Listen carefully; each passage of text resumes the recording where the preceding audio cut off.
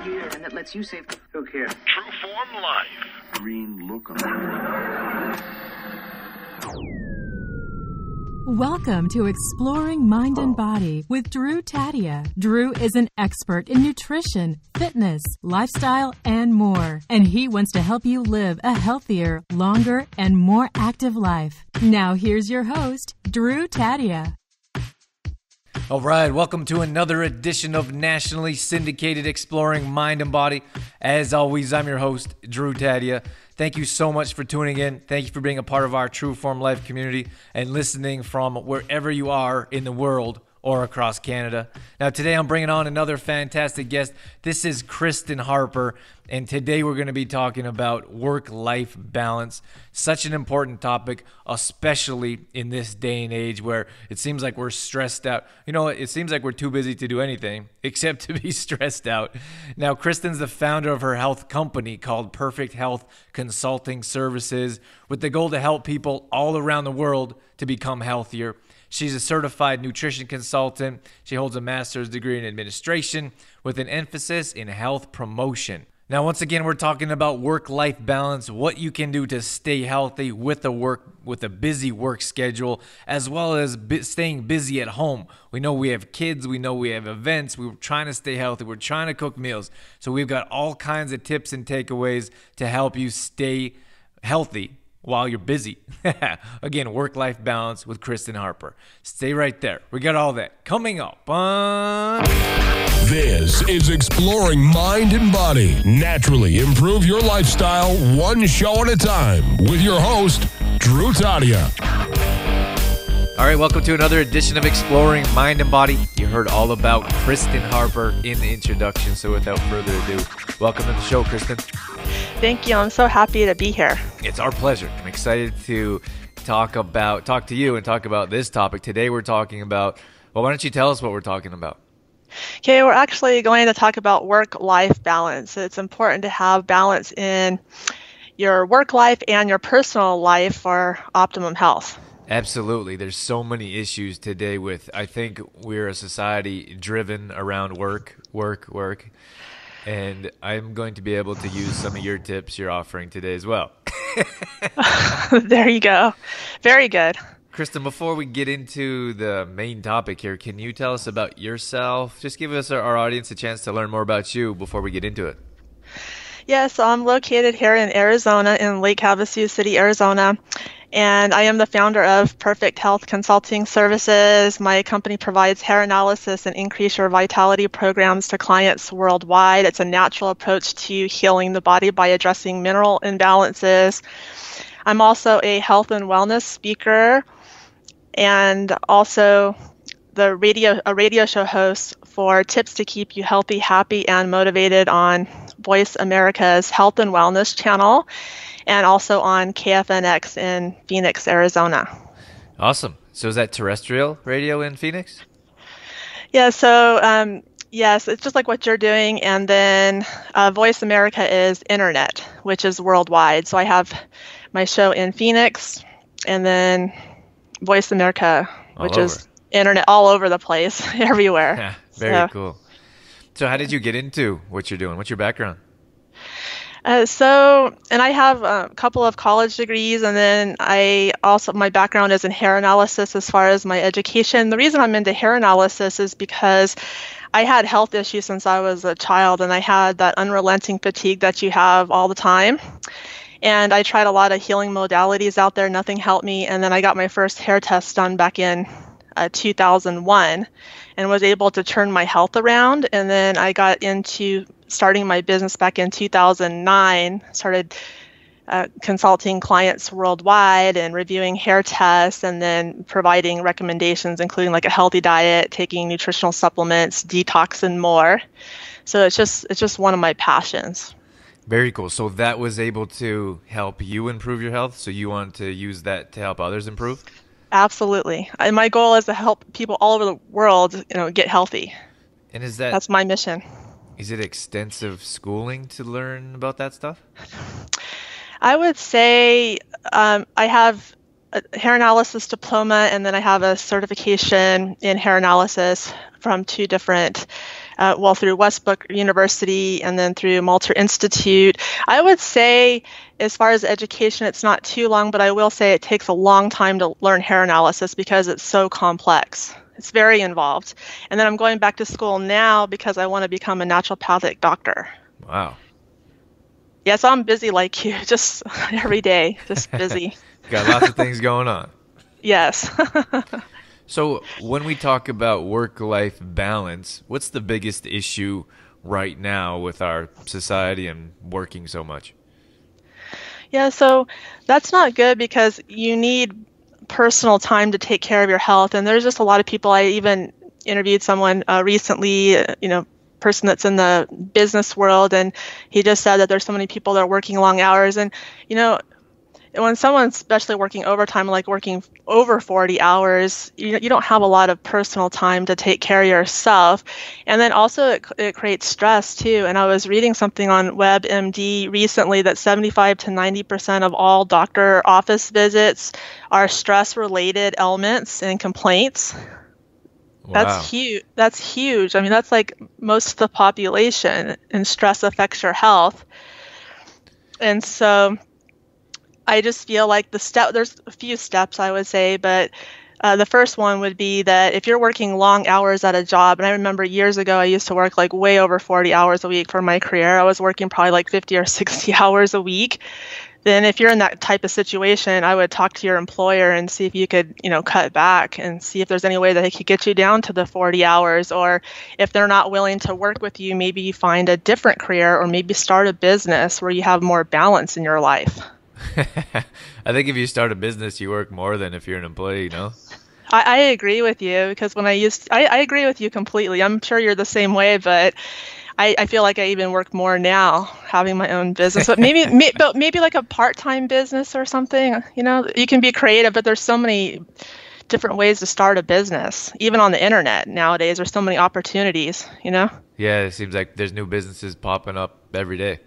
yes exactly. and it, well, when it comes to like our society, I think we're just used to. I suppose it depends where you live as well. I I'm from the west, like where I'm from the west side of Canada, or Western Canada, and the Eastern Canada is much different. And at least from what I experienced, so here we're from like I'm, from Calgary, Alberta, and it's a big it's a business like a big business area. There's lots of oil, there's lots of beef. Like everyone is business orientated in, in some way, and our, our business our our uh, excuse me, I lost it here. Our our cities are growing and they're like all connecting all around this area, and then you go to the East Coast and it's quite a bit slower so to me, it seems like a bit, which is awesome, like a bit more family orientated. People seem to like to visit more. No one's really in a rush. Again, at least what I experienced. So it's a completely different lifestyle from being here and everyone's rushing. Everyone has appointments, and then you go out there and everyone's like kind of hanging out and, and enjoying life a bit more. All right. Yeah, that's really interesting such a huge difference, you know. Yeah, I think it depends where where you are, where you live, but as a whole, I'd imagine just our society it's like so every it's like fast yes. paced like everyone's trying to make money everyone's trying to get yes. to their job yes. what do you think so what do you think some of the things are that we can do if we're in a busy lifestyle like we have kids we have our family how do we find time for our health yeah, so I talked about the first step was, you know, if you have a job where it's taking up too many hours, you need to cut back and try to work with your employer, maybe get into a different career or start a business. But then let's say that you have a job that's balanced where you're not working too many hours, but you have less time in your personal life to take care of your health. Uh, some tips I have would be I would say even coming up with like a priority list, and this is what I do because I have a very busy schedule. I keep a list every day and I put like the most important things at the top of my list that I need to accomplish. So what you need to do is cut out the less important things in your personal life because I feel that health is number one. Without your health, you don't have anything. So you need to cut the less important things out so you have more time for your health. So, for example, let's say you're spending too much time on Facebook at night, you know, instead of having more, you're, you're, you know, you're on Facebook for like two or three hours. That means that you have less time to take care of your health. And there's certain things that you have to do to take care of your health, including like eating healthy, cooking your organic meals, uh, taking your nutritional supplements, living a healthy lifestyle, going outside, taking your walks, getting sunshine, doing your detoxification, doing your meditation. There's things that you have to do to keep yourself healthy or get healthy. So I would say cut out the less important things like Netflix or talking on the phone for like over an hour or too much time on Facebook.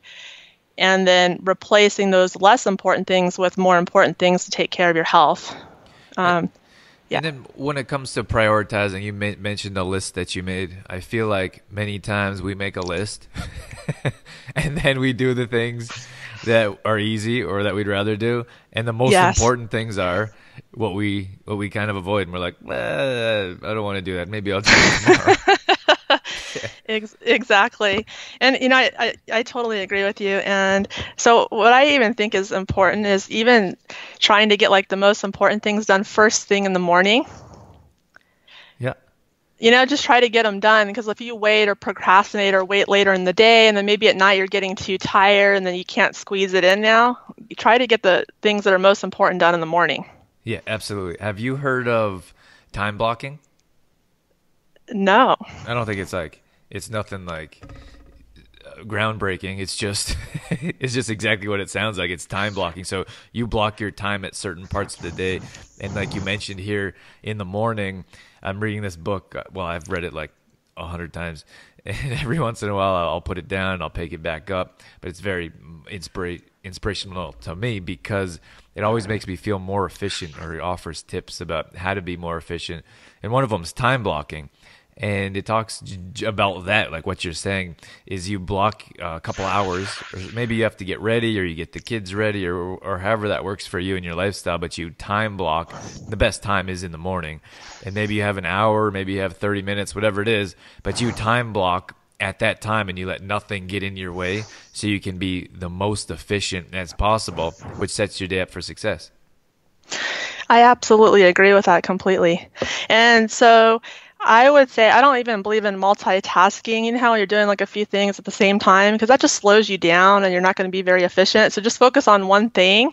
And then I like the time blocking. I think that's amazing. That's actually actually what I do because when I'm doing like computer work, I always make sure that I don't work more than three hours at my computer. It's always three hours or less as far as my time block on my on my schedule because I don't know if you've heard of this, Drew, but um, there's this gentleman. His name is Jake Steiner of endmyopia.org, and he's a vision coach and he's helped people all over the world get their vision back to 2020. And I re- reduced my prescription, I would say, in half uh, very quickly, like less than a year Wow. And and one of the things that he recommends is you can't do too much close up because that will affect your eyes. And so you always have to do three hours or less on the computer. So I try to get all my work done within that time, you know, like three hours or less, and then take a break from my computer because you need more of the distance vision. So take a break or go outside or whatever. That's so. amazing. I'm so interested in eyes. I really am. I'm not sure why. but, uh-huh. uh, and I've looked for people to come on and talk about eyes. I did talk about talk to someone. I did have an interview a couple years ago about eye vision in a holistic manner, but I'd love to find out more details. And so when you when you're at at the computer, how long do you take a break? So you try to go three hours or less, and then how long is your break before you go back? Um, I would say at least about an hour. And you see, the thing is, is our eyes are meant to have more distance vision. So uh, you need to go outside more. So I try to do my walks to get the distance vision because close up causes you to have poor vision. So more distance vision. Um, also, lighting at your computer is important for good vision. And also, what I do is when I do close up, and I have I wear contacts, and when I'm doing close up work, I wear these plus glasses that I get at a pharmacy, and they're called differential glasses. I put those over my uh, when I'm wearing my contacts, and it actually reduces my prescription even more when I'm doing close up. And then when you're at a distance, I don't use the close up glasses, and that's a different prescription. Okay. And it, so I do that. And then I also do active focus. That's like this exercise that you do where it's kind of like you're blinking like you see a little bit of blur with the text and then you blink and it things become more clear so there's all these things but i mean this is proof that it works because i've tried other vision programs out there i've tried um, Bates method. I've tried pinhole glasses, and I've tried so much over the years. And I've been wanting to get my vision back to 2020, and this is the only program that worked for me. And like I said, I've cut my prescription in half already. And how long have you been working on um, it for? Yeah, I would say it's been a little bit over a year. Wow. That's amazing. So, well, you know what the thing is for me is that I feel like as we get older, we accept that our health declines. And we're just like, eh, I'm getting older. Uh, these things tend to come up. Like, I, I can't move very well. Um, vision is a big one. Like, for me, I've been able to do more things as I age than I was at a younger age. Like running, I never would never run a half marathon before, or I could never do handstands or walk on my hands. So I feel like as I age, I want to get better and healthier in life. And, and it, eyes in general, everyone I talk to is like, yeah, it's just kind of normal. Your eyes get weaker as you get older, and you'll have to wear glasses like everyone else. And I'm like, no, I don't. so this is very interesting to me. Um, so does Jake Steiner? He has a book, or uh, I don't think he has a book, but you go to his website, which I like about it. You might want to even talk to him. Maybe he'll do an interview with you. But basically, he, you go to his website, and then there's like a seven day email course that you go through. It's free. You sign up, you enter your email address, and then he provides information. And then there's two programs he offers. One is free, so if people want to improve their vision free, he just has a lot of resources on his website, or you can go through the paid program. And I went through the paid program. Okay. All right, very cool. Okay, so we talked about prioritizing. So when you're making a list of the things that are important, you know what? I think that may, may, makes such a big difference when you're talking about. I have three hours on my computer. I think many times we we have all day on our computer. Like many people yes. just sit and work from their computer, so they have all day. So instead of being more efficient and saying, I have this amount of time, now I have to leave, take a break, maybe leave the office you have to be efficient with your time and making a priority list instead of a to-do list will make a big difference. Yes absolutely. And you'll feel good about yourself too because if you don't do it and you don't get the things done that are most important then you beat yourself up like gosh i needed to get this done because we don't we're so limited on time every day. There's never enough time. Right. We're always short on time. Yes. Okay so, so think, what else when it comes to so we went over uh, uh, prioritizing getting things done right in the morning. I think that's important. What else can we do to be more efficient or, or to find that work balance in life? Yes so if you have less time in your personal life and you still need to get all these things done to keep healthy sometimes you can do two things at the same time. So for example i always when I'm coaching my clients, I always recommend meditation because it's non denominational, it's great for health, there's many benefits. And I do recommend it on a daily basis. But let's say one day you're too busy and you're not able to squeeze everything in. What you can do is go for a walk outside in nature. I do believe in exercise. I love walking. I, there are so many benefits. It will improve your vision. It will move your lymphatic system because most people have congested lymphatic systems. And so that will help with your lymphatic system. It's just overall, it's good for your health. But also, when you walk and you walk really slow and you focus on each step, that's a form of meditation as well. So you can get your exercise that you need to do and you're doing your meditation at the same time. So we're being more efficient here. We got two for one. there you go. Uh, there you go. Or another thing that I enjoy too, because I like to read and always learn new things. And so, let's say you need to read and you need to learn or read one of your books. Well, because sunshine is important too. You don't want to overdo it, but you still need your sunshine. So you could go outside in like your backyard and get your sunshine and read your book at the same time. Yeah, it's a great idea because many times we don't make time to read. I think that's important in our in our day to day life is to make time to read and, and learn or relax away from the TV and other screen. exactly, exactly. Or another one would be and it depends um, all my clients are different but let's say that some of the clients need detoxification remove toxins from the body because many people are toxic then you could do your near infrared sauna therapy and do your meditation at the same time when you're in the sauna oh very nice that, often, that's relaxing. How often do you think someone could benefit from an infrared sauna? Right. I would say that everyone's different. It just really depends on their hair analysis and what mineral pattern they're showing, and it depends on the age too. Because not it's sauna is not for every single person, but especially Uh, children that are under five, that's not recommended. Um, pregnant women, of course not.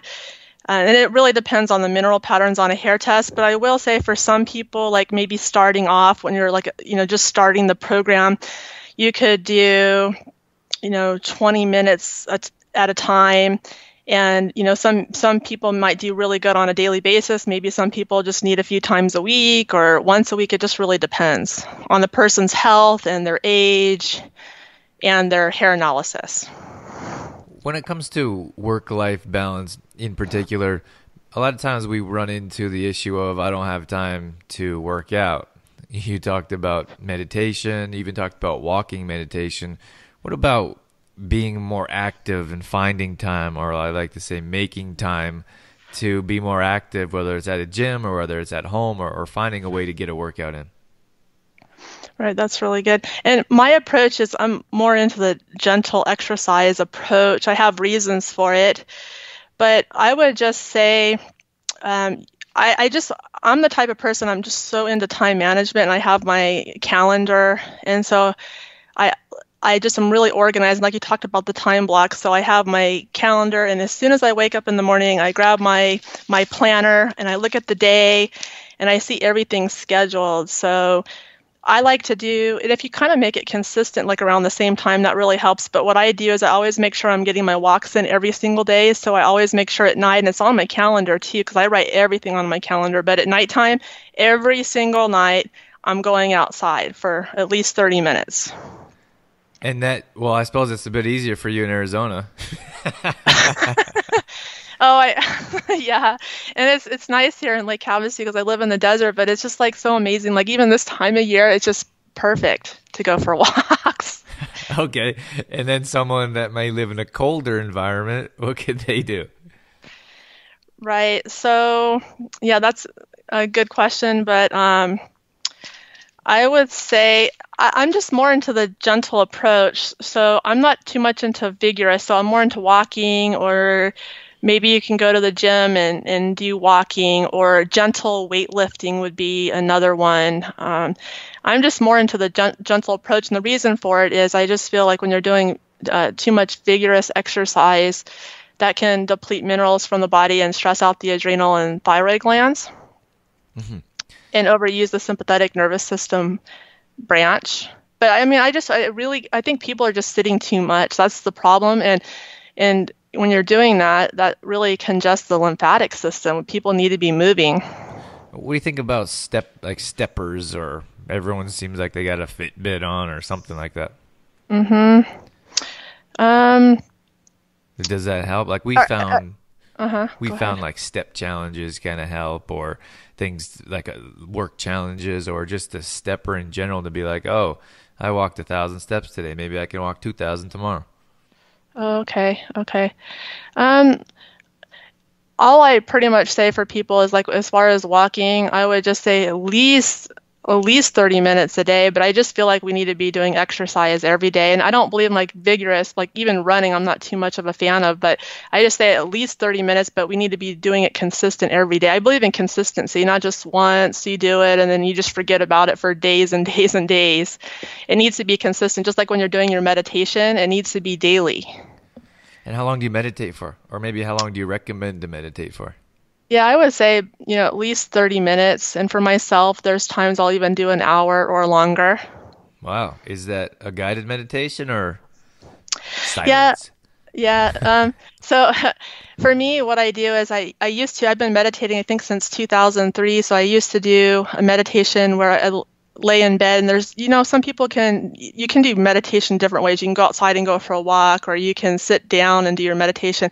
I like to lay on my back and then i have my eyes shut and my palms are facing down and i used to focus more on my breath but i've progressed over the years to where now what i do is i focus more the energy in my hands because the hands are rich in nerves so it's really easy to feel the energy.